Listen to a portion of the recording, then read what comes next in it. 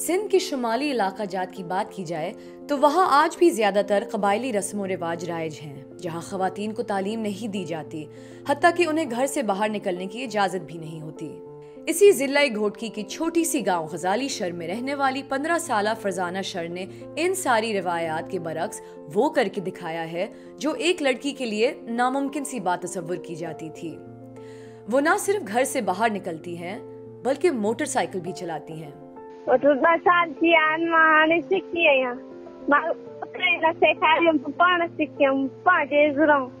मनु काफी मनु ॾिसण ईंदा मारे त इहा छोकिरी खे बाबा चवंदा आहिनि त इहा छोकिरी कीअं सिखी कीअं सेखारियो अथसि बाबा कुराड़ा मां उनजी मदद कंदी आहियां माँ कुराड़ी जी बाबा खणी ईंदी आहियाँ ॾेखारींदी आहियाँ थोरो अस्पताल परे आहे फरजाना के वालिद, अल्लाह जवायो शर, उमर रसीदा शख्स हैं। फरजाना का कहना है कि वालिद के कांपते हाथों मोटरसाइकिल चलाते देखा तो उन्हें ख्याल आया कि बूढ़े बाप का सहारा बनने की खातिर ये हुनर सीखा जाए।